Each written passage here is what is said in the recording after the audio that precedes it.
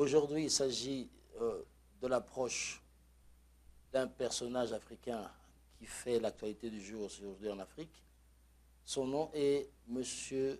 Draman Ouattara. J'ai avec moi un invité de marque, une personne qui s'intéresse au problème de l'Afrique au niveau politique. Ce personnage s'appelle euh, M. Yves Kenao. Bonsoir, M. Yves Kenao. Bonsoir. Alors aujourd'hui, vous allez euh, comme jouer le rôle de M. Draman Ouattara, le président de la Côte d'Ivoire. Et euh, vous allez essayer, du moins, d'entrer dans l'esprit de cet homme Mhm. et de pouvoir nous dire quelles seraient ses stratégies politiques d'aujourd'hui et de demain. Alors, la première question, il y a eu le problème de l'éligibilité de M. Draman Ouattara. Alors, je vous appelle Draman Ouattara. Ouais. Monsieur le Président, Ouais. bonsoir. Bonsoir. Bonsoir, monsieur le journaliste. D'accord, bonsoir. Alors, l'article 35, cet article qui fait tabac chez les Ivoiriens, qui refuse de vous reconnaître la nationalité ivoirienne ou même le droit de briguer le poste présidentiel. Qu'avez-vous à dire, monsieur le Président? Euh, merci beaucoup. Et vous savez, l'article euh, 35 de notre Constitution est un article, euh, sans vous mentir, qui ne me concerne pas tellement, euh, puisque j'ai eu à servir ce pays, notre pays que j'aime tant, comme j'aime beaucoup, pendant plusieurs années. Euh, je suis même ivoirien. J'ai vécu ici toute ma vie, j'ai fait mes études ici, j'ai travaillé ici, j'ai servi au poste de Premier ministre. J'ai occupé beaucoup de postes et j'ai représenté ce pays que j'aime tant, beaucoup à l'étranger. Je parle au nom de ce pays. Vous savez, euh, l'article dont vous parlez est un article qui euh, se retrouve dans toutes les constitutions africaines, même dans, les constitutions européennes et euh, américaine. Cet article n'est pas nouveau. Hein? Il est nouveau, c'est un article universel. Si je peux ainsi m'exprimer, c'est un article universel. C'est un article aussi qui a ses avantages euh, et ses inconvénients. Euh, vous savez, le monde évolue beaucoup, le monde a beaucoup évolué.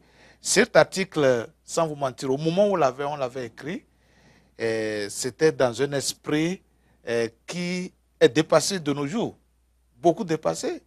Vous savez, et si on veut appliquer cet article dans son intégrité, je pense qu'il n'y aura même pas un candidat aux États- en Côte d'Ivoire. Il n'y aura même pas un candidat. Donc c'est pour vous dire que euh, cet article, à mon humble avis, est caduque, est dépassé. Il faut le reviser, il faut le revoir pour l'adapter aux réalités actuelles, présentes de notre pays et du monde entier. Il vous a bien servi dans les années Bagbo, cet article. Et les années Gbagbo, quelles sont les années Gbagbo encore? Les années où Laurent Gbagbo fut président. L'article 35 vous a quand même servi. En quoi? Bon, l'article 35 a, a pu aider le pouvoir en place de- dans l'époque de Bagbo à aller recourir à l'article 48. Vous savez, euh, personnellement, nous n'avions pas demandé à, à Monsieur le Président d'alors de, de prendre cet article 48. Parce que nous avions jugé en ce temps que notre candidature était valable, était en bonne et due forme et qu'elle ne souffrait d'aucune irrégularité. Donc, euh, cet article 30, euh, 48 dont vous parlez, nous, ne nous a pas concernés puisque nous avions déposé notre dossier, nous avons constitué notre dossier qu'on a jugé. Oui, mais Monsieur le Président, mais on disait de vous à l'époque que vous n'étiez pas ivoirien. Qui, qui- qui disait que je n'étais pas Ah, mais ivoirien ce sont, ce sont, c'est ce qui est fait que M. Laurent Gbagbo a dû utiliser l'article 48 sous pression pour vous reconnaître le droit d'être candidat à la présidence. Pouvez-vous retirer votre, euh, euh, votre mot sous pression? Sous quelle pression? Le M. Laurent Gbagbo, Sous ma pression ou sous, sous la pression de qui? Certainement, parce que, non, en principe, vous avez monté une rébellion au nord. Monsieur le journaliste, euh, je pense que vous devez dire des choses avec des, des preuves à l'appui. Hein? Et, et nulle part dans cette euh, rébellion, le nom de M. Ouattara est sorti. Mais en tout cas, il y a Nulle des- part. il y a eu Les, des pro- rebelles, les rebelles ont dit qu'ils pro- ont été il y a eu formés. des pro-Ouattara qui ont fait la guerre contre les pro-Bagbo. Ce sont des Ivoiriens ou pas? Des Ivoiriens, d'accord Les Ivoiriens, certains Ivoiriens doivent-ils supporter ma candidature ou pas? Ont-ils le droit de le faire ou pas? Donc vous voulez dire qu'ils l'ont fait parce qu'ils vous reconnaissent être Ivoiriens? Ils l'ont fait parce qu'ils pensent que je peux servir ce pays. Parce qu'ils pensent que je, je suis l'homme de la situation. Parce qu'ils pensent que je suis le seul à pouvoir redonner à cette Côte d'Ivoire que nous aimons tant son image du passé. Et que dites-vous des Ivoiriens qui disent que vous avez été éligible à titre exceptionnel? Vous savez, nous ne pouvons pas refuser aux gens de- d'exprimer leur impression, leur opinion. Ils sont libres. C'est ça qui fait la beauté de ce pays. La démocratie. Vous êtes libre d'exprimer votre point de vue. Je ne peux pas vous l'empêcher. D'ailleurs, c'est ce que vous êtes en train de faire. Vous exprimez votre point de vue en me posant des questions que vous avez dans votre cœur, auxquelles je vous réponds avec une certaine intellect- honnêteté intellectuelle. Vous savez, les Ivoiriens sont libres de s'exprimer sur la politique de leur La raison pays. pour laquelle les Ivoiriens aujourd'hui, cette année, s'expriment, et même la diaspora ivoirienne, donne si haut en Europe, en Occident, que vous n'êtes pas éligible. Et que même vous avez pu, vous avez changé à la dernière minute, vous avez poussé, soi-disant, d'après leur rumeur, l'ancien président de la Cour suprême a démissionné. Ah, vous me l'apprenez, hein? Parce que le nouveau est sous votre aile. Ok, vous savez, eh, nous avons entendu ces rumeurs. Nous avons Elles entendu sont ces... Elles ne sont pas fondées, pas du tout. Vous savez, surtout la diaspora, nous-mêmes on a fait la diaspora. Euh, on était étudiants à l'étranger, nous savons de quoi elle est faite, la diaspora. Dans la pression de la diaspora, C'est la diarrhée, c'est la diarrhée verbale. Il Hein? n'ira pas loin, c'est ce qu'il voulait dire. Mais la preuve, là, le, le Conseil constitutionnel vient de valider à une forte majorité, à, à l'unanimité d'ailleurs, ma candidature. Effectivement, vous êtes 10 candidats, et parmi les 10 candidats, quel est le candidat qui vous fait le plus peur? Aucun. Le travail que j'ai posé. Est-ce que vous avez une fois, vous avez encore visité la Côte d'Ivoire, Abidjan? Vous avez encore visité l'Abidjan? Abidjan, les traces de la guerre sont en train de, disparaître. On a rebâti Abidjan. Le travail, on a trouvé, on a créé des emplois. Les ponts, les routes qui étaient euh, détruites. Je vous invite seulement à aller voir Abidjan. hein. Vous serez étonné. Vous allez voir que ce que les gens racontent sur les nets, ce que les gens racontent de gauche à droite, ne sont que Le des- social, des- monsieur le des- Président, de la propagande. Le social, monsieur le Président, n'est Ouais. pas fameux. La vie sociale n'est pas fameuse, Vous savez, on vient, on vient de sortir d'une crise, d'une longue crise. vous avez provoquée. Ah, c'est vous qui le dites. Je suis un homme de paix. Il Je suis un homme de il y a eu réconciliation. une confrontation entre les pro-Bagbo et les pro-Ouattara. C'est que, quelque part, vous êtes, vous dites bien pro. Ils sont sous l'influence de Vous n'avez pas dit que les enfants ou la famille ou M. Ouattara. Vous avez dit des pros. Et M. Ouattara ne peut pas empêcher les gens de l'admirer. C'est une admiration. Jusqu'à utiliser la violence, monsieur le Président C'est une admiration que les gens... Jusqu'à utiliser la violence, monsieur le Président Vous savez, quand les passions sont surchauffées, vous ne pouvez plus les contrôler. Les gens sont sûrs que leur candidat que je représente, leur aspiration que je représente était étouffée. Et aujourd'hui, monsieur le Président, Ouais. le point de la réconciliation des Ivoiriens, avez-vous réussi? Vous savez, la réconciliation n'est pas quelque chose qu'on réussit à résoudre en un seul jour. C'est un long process. Mais avez-vous vraiment cette volonté? On a commencé. Nous avons commencé. Est-il possible, monsieur le Président, que vous libériez Mme Simone Bagbo? Rien que par exemple de réconciliation. Vous savez, je ne veux pas m'ingérer dans les affaires de la juridiction ivoirienne. C'est une affaire laissée Est-ce à que la l'appréciation. libération de Mme Simone Bagbo est un problème à votre campagne présidentielle? Encore une fois, je vous le répète, je laisse à la juridiction ivoirienne. Mais est-ce que sa libération vous ferait peur, monsieur le Président? Monsieur le, monsieur le journaliste, j'ai peur de rien. Ma conscience ne me reprocherait.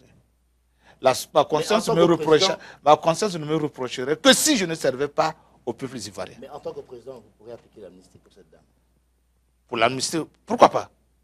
Cette année J'ai un bon cœur. J'ai un homme de cœur. Vous promettez cette année de le faire? Euh, on y pensera.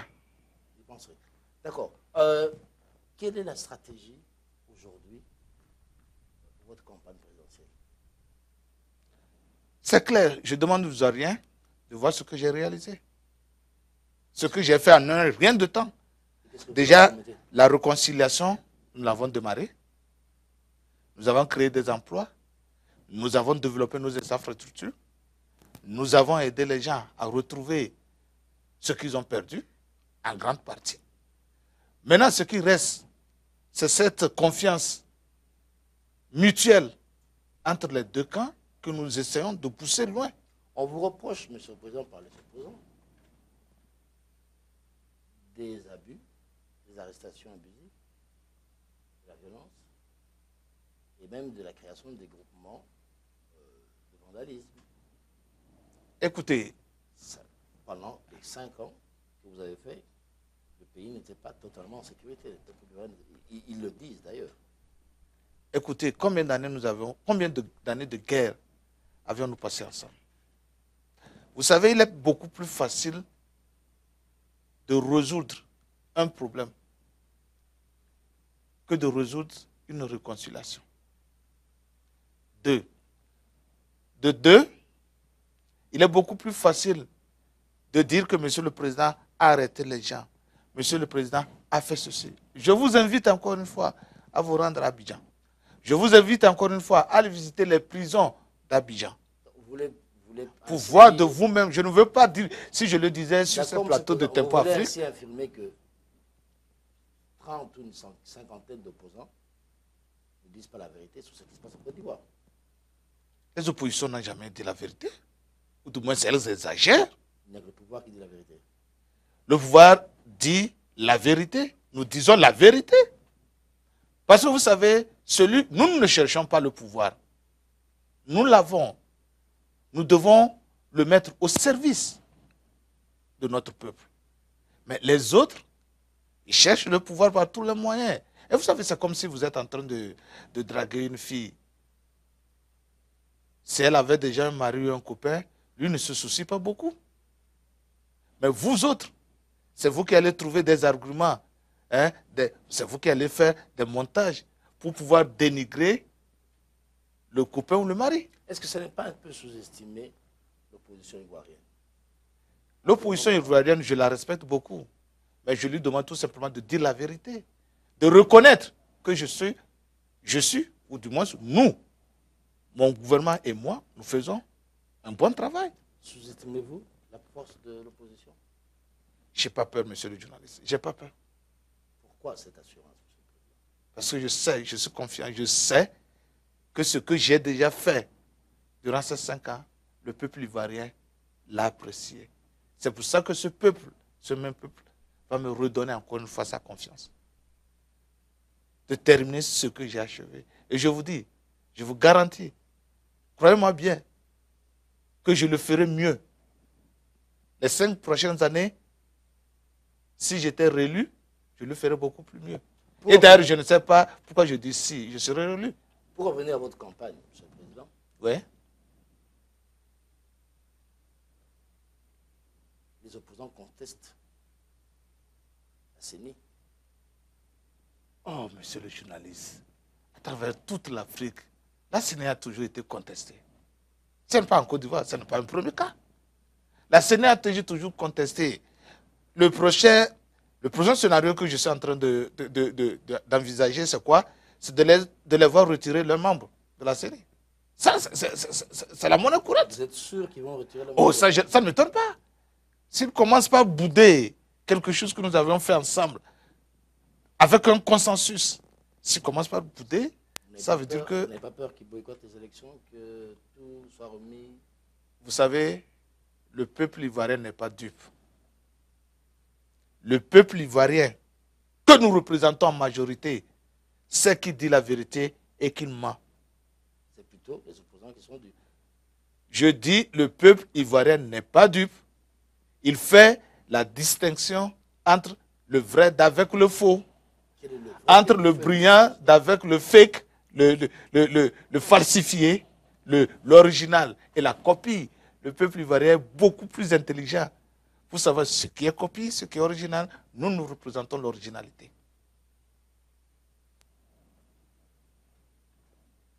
Vous voyez ça? Que pensez-vous de l'opposant FPI mm -hmm. FBI a beaucoup d'opposants. Lequel? Afingessa. Oh, J'ai appris qu'ils sont en train de se battre pour trouver un, pour trouver un leader dans ce parti. Existe-t-il ce Front populaire ivoirien? Oui, M. Afingessa est parmi les dix candidats. Et c'est l'opposant peut-être qui est en, le plus célèbre parce que les autres opposants ont, ont le. Ouais, vous écoutez, Afingessa, c'est un bon homme, c'est un homme gentil, c'est un grand politicien. Hein? Il est dans dans, dans, les, parages de, de la politique euh, hein, ivoirienne sympa aujourd'hui avec le feu au fait, en passant par euh, Et on a tous travaillé ensemble sous fait. Et je sais de quoi il est capable. Bon, mais je n'ai pas peur de lui. Hein. Mon expérience du monde international, mon expérience du monde international, n'oubliez surtout pas ça. À l'heure actuelle, c'est l'économie que nous devons développer. Et c'est ça mon cheval de bataille de bataille. Et ça fera la différence avec l'autre. Je n'ai pas peur de lui. Je n'ai pas peur. Ça, je vous le, je vous le garantis. Il y a des, des, rumeurs ivoiriennes qui disent que vous l'avez déjà acheté. Et qu'il ah. joue un faux scénario. Oh. Ah. ah. Serez-vous capable de faire ça, M. le Président? Mais vous, vous me l'apprenez? Moins ça, je ne l'ai pas écouté. J'ai l'habitude d'écouter toutes les rumeurs, ça là, je n'ai pas écouté. Il a peur d'avoir neuf opposants contre vous. Vous êtes sûr de gagner? Si on pouvait être mille. Vous savez, plus vous avez les candidats, plus le peuple arrive à déceler les lacunes des uns et des autres. Mais pas de lacunes. Hein? Mais pas de lacunes. Vous connaissez ma carrière. Ce n'est pas sur ce plateau que je vais me présenter. Vous savez qui va travailler d'étudiant jusqu'à un homme politique, vous savez, je n'ai pas à me présenter encore une fois, ni à vous, ni au peuple, du, ni au monde entier.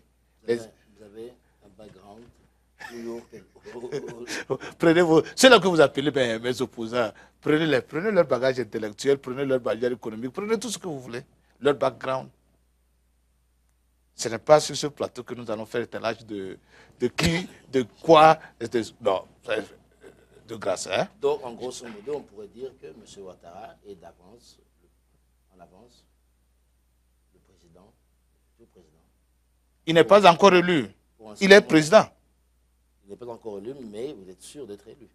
je suis déjà président. Pourquoi être élu encore? Je suis déjà président en exercice. C'est ça que le peuple ivoirien me demande de faire. Mon travail que je fais, de le continuer.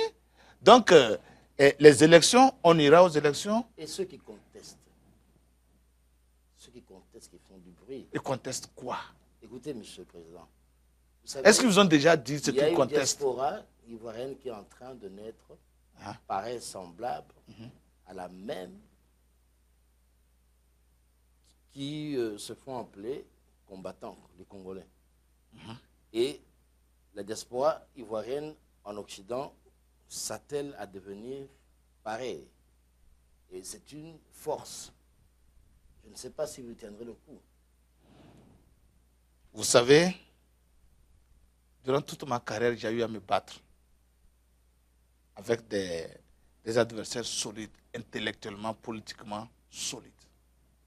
Et je me suis en sorti. Ce que vous appelez diaspora forte, j'aime ça. Ce sont des Ivoiriens, ce sont des, des compatriotes. Je les invite d'ailleurs à rentrer au pays. Ensemble, on va travailler. Ça, c'est le discours de tous les présidents. Je dis, je les invite. Je serai très ravi de les retrouver ensemble. Ils déposent leurs idées, ils apportent leurs idées, leurs idées géniales qu'ils ont en Europe, en, Europe, aux États-Unis, partout dans le monde, et qu'ils crient, je les invite à rentrer. Le message de M. François Hollande. Lequel? M. François Hollande a plusieurs il a eu, il a eu des centaines de messages à l'envers de l'Afrique. Le, lequel, celui le plus célèbre, où il demande au chef d'État africain de la francophonie de respecter la Constitution. Qu'entendez-vous? Un instant, monsieur le journaliste. Qu'entendez-vous respecter la Constitution? C'est-à-dire, après deux mandats d'après la Constitution ivoirienne, mhm. retirer. Ok, d'abord, Ou alors, dans ce cas, c'est comme tous les chefs d'État africains, ils disent tous qu'ils ne se représenteront plus, ils partiront. Mais nous savons qu'ils ne partiront pas. Et nous savons que vous ne partirez pas. Alors, pouvez-vous nous, nous- nous vous dire, ne me, prêtez pas, ne me faites pas le jugement d'intention. je pas Qui vous dit. Qui vous dit que je ne partirai pas? Nous savons parce qu'en général, tous les présidents africains. Vous dites en général, il y a toujours des exceptions. Qui vous dit, qui vous dit que je ne partirai pas? Le président du Congo a dit il sera l'exception. Je ne suis pas le président du Congo, je suis le président de la Côte d'Ivoire. Zagame l'a dit aussi. Vous êtes africain. Kagame est le président de la- du Rwanda. pas par quatre chemins. Quelle est votre prochaine stratégie pour faire un troisième mandat? Écoutez, je n'ai ni un deuxième mandat, ni un troisième mandat, ni un quatrième mandat. Créer, pousser le peuple ivoirien à aller à ce fameux référendum, oui ou non? Vous savez, cette idée de référendum n'est pas de, le- de ceux-là que vous appelez l'opposition. C'est nous qui l'avons proposé. Allez-vous l'utiliser? Nous allons l'utiliser au moment opportun. pour le troisième mandat Je dis au moment opportun. C'est-à-dire que vous pensez que les Ivoiriens ne feront rien pour vous en empêcher Vous savez, je voudrais d'abord éclaircir un tout petit peu votre mémoire. Les Ivoiriens n'ont rien contre moi. Les Ivoiriens même, je les aime. Peuple ivoirien, je vous aime. Je vous ai promis que je vous apporter la stabilité politique. Et à l'heure actuelle, que je vous parle, cette stabilité politique, la Côte d'Ivoire là. Cette stabilité dont on a souffert il y a quelques années, nous l'avons aujourd'hui. Vous pouvez venir en Côte d'Ivoire, circuler librement. La Côte d'Ivoire n'est plus divisée en deux comme avant. La Côte d'Ivoire est Monsieur unique. Quelle stratégie allez-vous mettre au point pour arriver à votre troisième mandat? Je n'ai pas de troisième mandat. Nous ne parlons pas de troisième mandat, monsieur le journaliste. Ne mettez pas des doutes, ne semez pas des doutes dans les esprits des citoyens ivoiriens. On ne parle pas de, de troisième, de quatrième ou de cinquième mandat. On parle seulement des élections d'octobre 2015. Point tiré. Il n'y a pas de troisième mandat ou de quatrième mandat.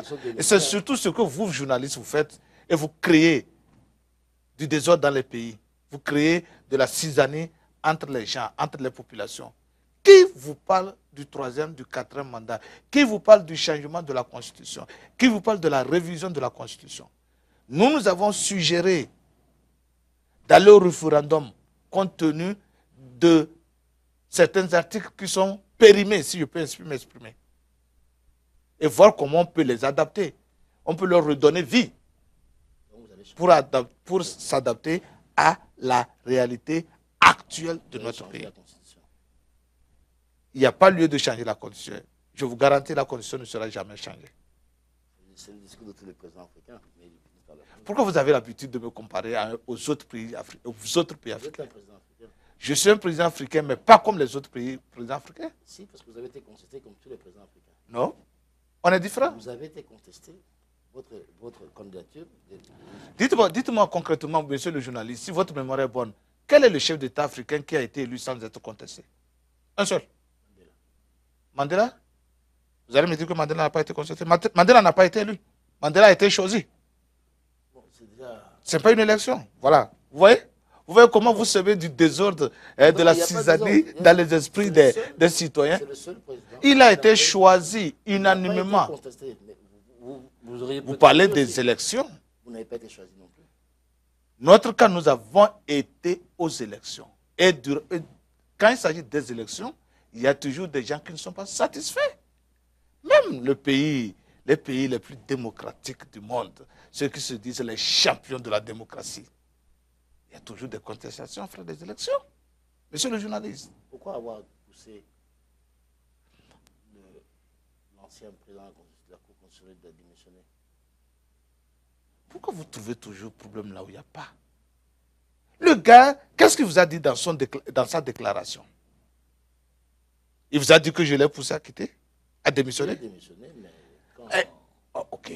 Vous voyez? N'écoutez pas les, les, les on-dit.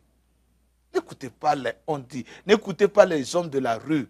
Vous êtes un intellectuel, vous êtes un journaliste. Le journaliste va à la source. Vous devez venir nous voir, nous autres, nous demander de vous donner des informations fiables. Aujourd'hui, c'est le bouche à oreille qui apporte l'information fiable. Et c'est la raison pour laquelle toutes ces révolutions en Afrique, C'est justement pourquoi vous n'avez pas peur d'une révolution en Côte d'Ivoire? la Côte d'Ivoire n'a pas besoin d'une révolution. Non, vous n'avez pas peur qu'elle arrive. Il n'y a ja- il n'y aura jamais de révolution en Côte d'Ivoire sous mon règne. Sous mon règne. Qu'est-ce qui vous garantit ça Sous mon règne parce que les Ivoiriens même. Parce que les Ivoiriens voient. Que- les Ivoiriens vous ne voyez pas? J'ai besoin de vous dire ça Non, non. Qu'est-ce qui vous prouve? Je vous dis, je vous invite, monsieur le journaliste, je vais vous payer un billet. Je ne vous achète pas. Comme vous avez l'habitude de le dire, qu'on achète les gens. Je ne vous achète pas. Je vous invite. Je vous paie un billet. Comme ça, vous ne pourrez pas refuser. Si je vous dis de venir vous-même, vous pouvez me dire oh, euh, ceci, ceci. Je vous achète un billet. Vous descendez à Abidjan. Ne me dites pas quand est-ce que vous allez arriver. Venez à tout moment, par surprise. Vous verrez vous-même. Comme ça, quand vous me recevrez encore sur ce plateau, je ne parlerai pas, vous serez mon témoin. Vous ne répondez toujours pas à ma question. Qu'est-ce qui qui vous prouve que ce peuple vous aime? Il vient juste de le prouver. Ah, mais- ah, vous n'avez pas vu combien de personnes sont sorties dans la rue pour acclamer, pour jubiler, pour jubiler que le Conseil constitutionnel a validé. Vous ne voyez pas que c'est la victoire de la vérité sur le mensonge? il y a eu affrontement. Il y a eu affrontement. Qui vous a dit qu'il y a eu affrontement? Nous savons comment aujourd'hui on fabrique les images, monsieur le journaliste. On sav- nous savons comment vous fabriquez les images. N'importe qui peut se lever, mettre quelque chose sur YouTube. N'importe qui. Même le villageois, le paysan qui est dans ma ferme là-bas, à Yopougon, dans la ferme de Yopougon, quelque part là, peut faire ça. Il est normal, Monsieur le Président, que les pros pouvoir et les pro-opposition se chamaillent, se disputent, mais s'entretuer. Nous, nous sommes. Ça veut dire carrément quelque part que n'êtes pas aimé et que les Ivoiriens vraiment ne vous veulent pas. Si je ne t'ai pas aimé, comment je pourrais arriver au pouvoir? C'est ça qu'on aimerait savoir. Comment vous vous Nous avons gagné, nous avons gagné eh, les, eh, les mains, haut les mains des élections. Je vous dis encore une fois, nous allons les gagner haut les mains avec un pourcentage très élevé, très très très confortable. Et je vous dis encore une fois, monsieur le journaliste, quelle est l'élection que vous avez gagnée haut les mains haut la main Contre qui? contre qui? Le peuple ivoirien, dans sa majorité, nous a donné sa confiance. Contre qui? Contre euh, l'ancien, euh, contre M. Gbagbo, contre le Front populaire ivoirien. Que la France a envoyé Manu Militari Encore une fois, pour vous laisser le siège. Monsieur le journaliste, vous posez des questions, Pour vous le vous prenez- vous posez des questions d'ordre général, Et cette fois-ci, vous, posez des questions pour instruire vos, vos téléspectateurs, ou bien vous posez des questions juste, des questions que l'homme de rue. tout le monde sait que vous avez été placé par le pouvoir français. Apportez-nous les preuves. Vous, savez ce que vous dites là? Vous savez que ce que vous dites là peut être une poursuite judiciaire contre votre personne? Pas du tout. Les images parlent d'elles-mêmes. Parce que vous n'avez aucune, vous n'avez aucune preuve, Non, monsieur, non. monsieur le journaliste entre nous. Vous Les aucune preuve. Ivoiriens le disent. Les Ivoiriens le disent. Vous avez écouté l'autre version des Ivoiriens? Vous savez, je vais vous donner un exemple. Vous- Chaque fois que vous parlez, Vous il y a... il y a- toujours pas, vous ne dites toujours pas Ouais. comment vous avez réussi à être éligible alors que les Ivoiriens ne vous reconnaissent pas ce droit. Mais écoutez, vous venez de dire quelque chose, n'est-ce pas? Vous venez de parler de l'article 38. De, de l'article 40 euh, 30 48. 50, Vous avez parlé de l'article 48. Vous avez dit qu'on a forcé la main d'un certain monsieur de valider notre candidature. Nous n'avons demandé à personne de valider notre candidature. Si.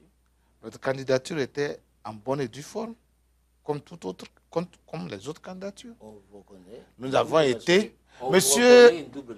Monsieur le journaliste, J'ai été Premier ministre de la Côte d'Ivoire En tant qu'Ivoirien.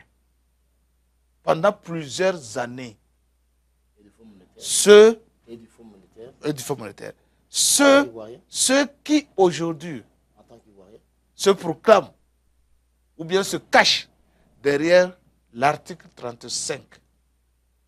Où était-il? Et nous avions travaillé ensemble. J'ai signé même leur dossier. Je leur ai payé. J'ai payé ceux-là quand ils étaient fonctionnaires. Pourquoi n'avaient-ils pas refusé de toucher leur argent? Quand j'étais ministre des Finances, quand j'étais Premier ministre, pourquoi n'avaient-ils pas refusé de prendre l'argent? Et qu'aujourd'hui, quand le peuple me demande à moi, Ouattara, de servir encore une fois ce peuple que j'aime tant, il y a certaines brebis égarées qui se permettent de dire que M. Ouattara n'est pas ivoirien. Je vous dis que je suis ivoirien 100%, même 200% ivoirien. Et j'espère que une fois pour de bon, vous allez enlever cette idée machiavélique de votre tête que je ne suis pas ivoirien. J'espère ça. Je vous dis bien encore une fois, monsieur le journaliste, je suis ivoirien 100%. Et vous le dites. 100%. aux À tous les Ivoiriens qui veulent m'entendre, m'entendre. 100%, même 200%. Rien que parce que vous avez assumé des fonctions. Si vous n'êtes pas de la nationalité, comment pouvez-vous assurer, assumer ces fonctions? Si vous n'êtes pas, je vous dis, être Premier ministre, ce n'est pas donné à n'importe qui.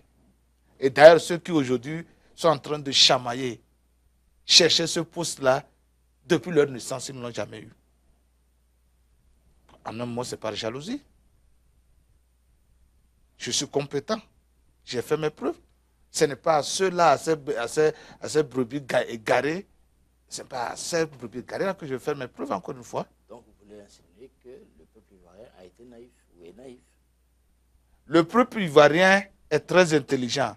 Il a compris, à un moment donné de son histoire, que j'étais l'homme, j'étais la personne de la situation.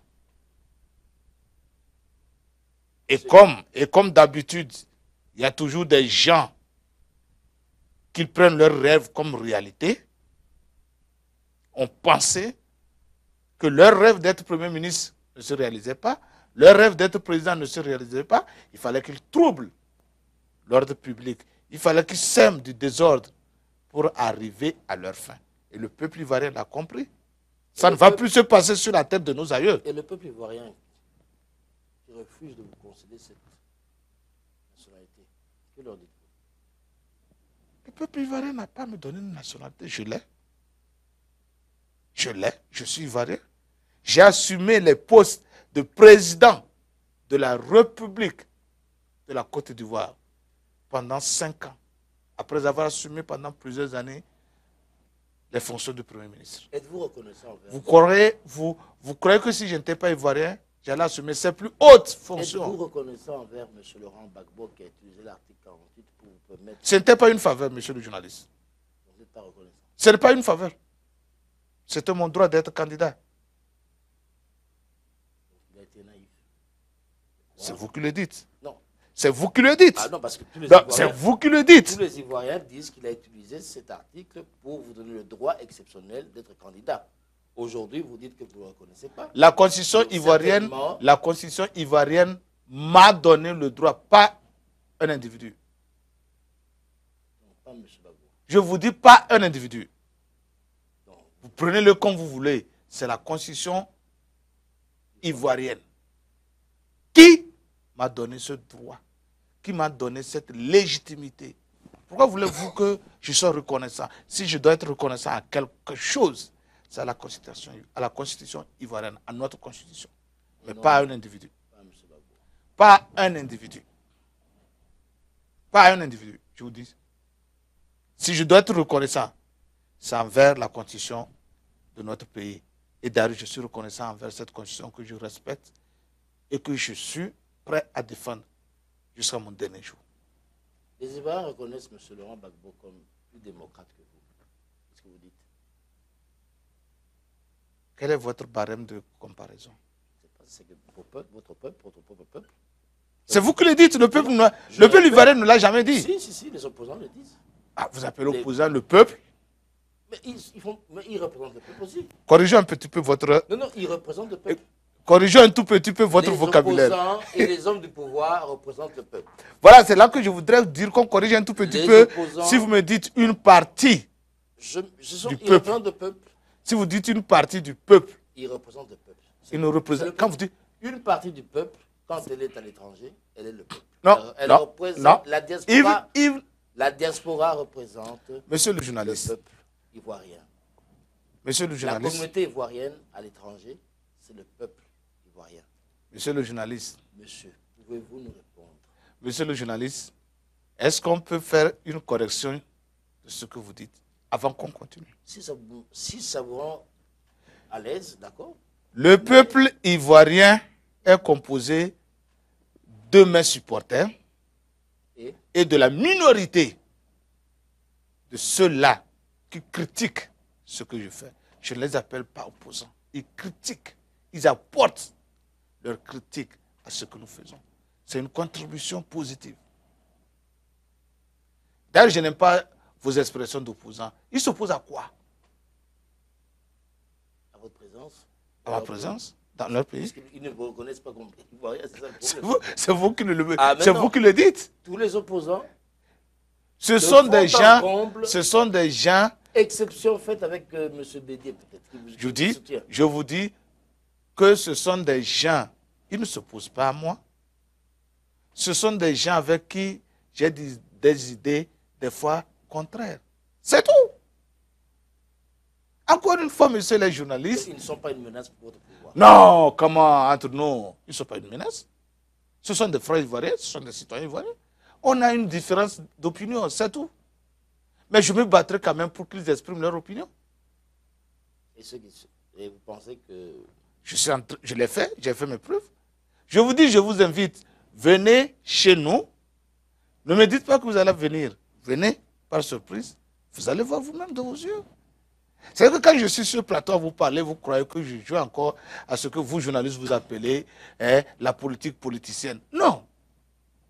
Je vous dis ce qui se passe en réalité dans mon pays.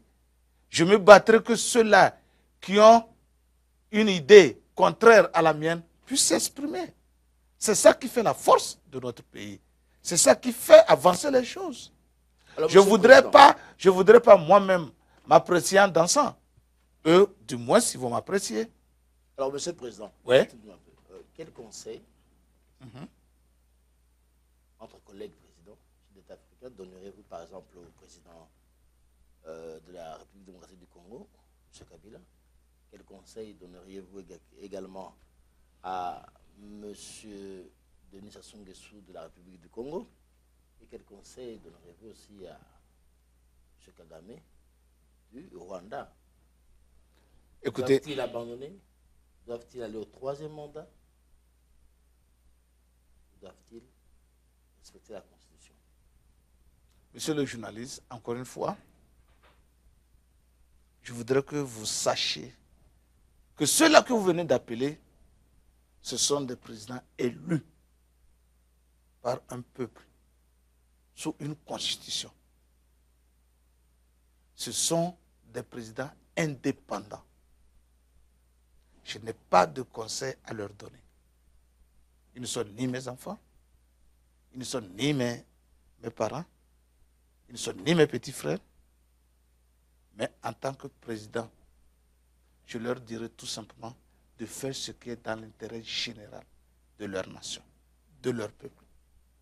Je dis bien dans l'intérêt général de leur nation, de leur peuple. Je ne veux pas jouer le rôle de monsieur les, messieurs les présidents de la France qui, à chaque fois qu'ils arrivent au pouvoir, trouvent que les autres présidents des pays indépendants de l'Afrique sont leurs valets locaux, où ils peuvent venir à tout fois tenir des discours, apprendre, comme s'ils étaient leurs élèves de cours élémentaires, première année. Je ne suis pas les, présidents français. Je n'ai pas de conseil à donner à ceux-là que vous venez de citer. tout ce que je peux dire, c'est qu'ils fassent leur travail dans l'intérêt général de leur nation, de leur peuple. C'est-à-dire? Mon français est clair Je n'ai pas parlé l'anglais, j'ai parlé français. Je dis bien qu'ils fassent leur travail dans l'intérêt général de leur peuple, de leur Le nation. problème, c'est que les ch- les chefs d'État africains dictateurs ont un langage différent des- du monde universel. Intérêt général pour eux veut dire rester au pouvoir. Si leur peuple leur demande de rester au pouvoir, ils resteront. La Constitution ne demande pas. Si leur constitution leur demande de rester, ils vont rester. Ils leur demandent- La Constitution leur demande Seule la constitution est au-dessus de tout le monde. Oui, mais vous savez que la plupart vont au-delà de la Constitution. L'exemple de, de Jean-Pierre Kourouziza. Écoutez, je ne voudrais pas que vous déviez un tout petit peu de notre Non, je ne dévie pas. Je ne dévie pas. Je Monsieur le journaliste, je ne me prononcerai que sur le cas de mon pays. Et les autres les, cas, les autres cas vous dérangent. je voulais, je voulais laisser Le cas de vos collègues vous dérange.